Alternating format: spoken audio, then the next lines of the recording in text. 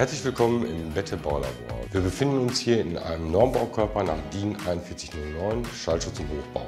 Und ich möchte euch hier zeigen, mittels des Schallmessgerätes hier und den Einbausituationen über uns in dem Raum, wie sich das Ganze verhält. Das zeige ich euch jetzt.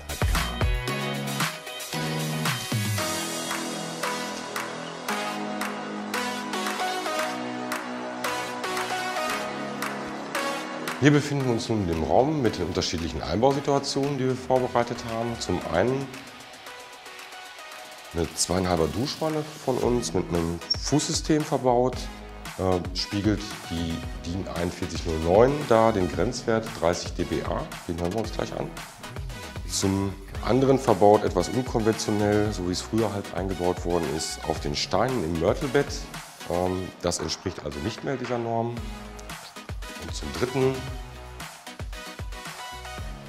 das Einbausystem Universal ist hier verbaut äh, mit einer Floorfläche und diese ist mit Antidrön versehen. Das entspricht natürlich allen höchsten Anforderungen, sprich der VDI 4100 und natürlich auch der 4109.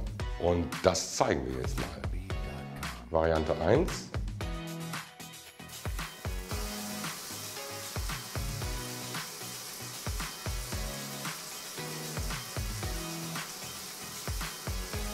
Variante 2.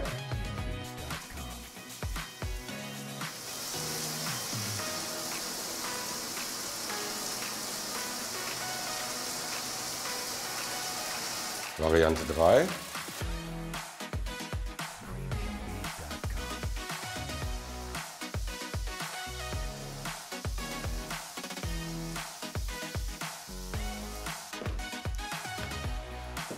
Dieses Experiment hat gezeigt, dass unterschiedliche Einbausituationen zu unterschiedlichen akustischen Eigenschaften führen.